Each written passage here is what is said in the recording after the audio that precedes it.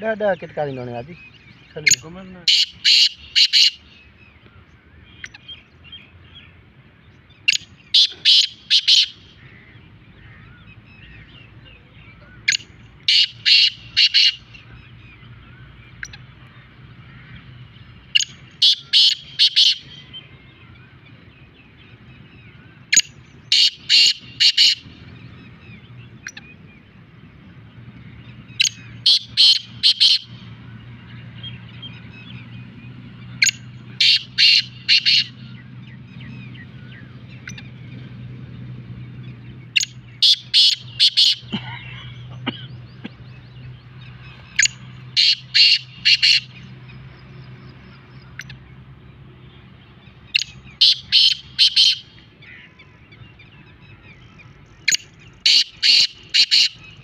કઈ જત્રી બોલી.